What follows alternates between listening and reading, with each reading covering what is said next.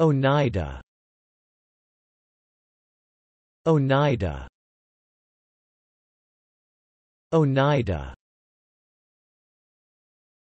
Noun Definition a member of an Iroquoian people formerly inhabiting Upper New York State, one of the five peoples comprising the original Iroquois Confederacy. Example. The Oneidas are members of the Iroquois Confederacy, also known as the League of the Haudenosaunee, or Six Nations. Noun. Definition. The Iroquoian language of the Oneida.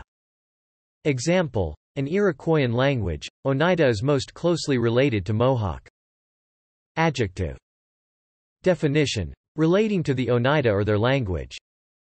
Example. Johnson's army, on the other hand, was composed primarily of New England militiamen, Mohawk and Oneida Indians, and almost no British regulars. Thanks for watching this video.